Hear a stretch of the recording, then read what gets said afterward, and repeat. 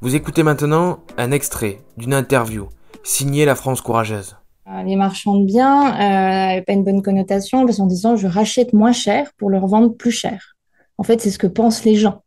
Euh, alors que, alors que non, nous, moi j'appelle, j'ai vu mon métier plutôt comme un, régulateur de marché, c'est-à-dire des choses qui n'étaient pas forcément faciles à vendre, des gens qui étaient, qui, qui, qui fallait aider et à dire voilà, on achète parce que ces personnes-là ont besoin qu'on achète ou en tout cas ont besoin d'une réponse tout de suite de combien on peut l'acheter parce que bah, le mettre dans une agence immobilière euh, ou de le mettre soi-même sur Internet, euh, bah, vous avez un laps de temps, vous savez pas, vous allez avoir des propositions, vous savez pas, même si vous le mettez à un prix, vous savez pas à combien il va partir.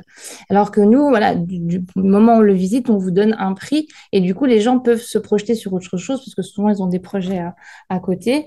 Et euh, du coup, bah, voilà, on donne la proposition, ils sont d'accord, et ben parfait, ils sont pas d'accord, ils ont quand même notre proposition à laquelle on peut acheter.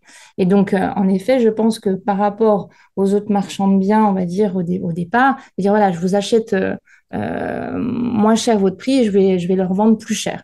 Donc, c'est pour ça qu'ils se cachaient. D'ailleurs, ils ne disaient pas forcément que c'était des, pour leur vendre, ils disaient que c'était pour investir, enfin bref, que c'était pour eux. Et en fait, ils disaient vraiment pas forcément exactement ce qu'ils allaient en faire. donc, donc, donc voilà pourquoi les personnes, je pense, ne, disaient pas vraiment ce que, leur, leur, leur, leur fonction.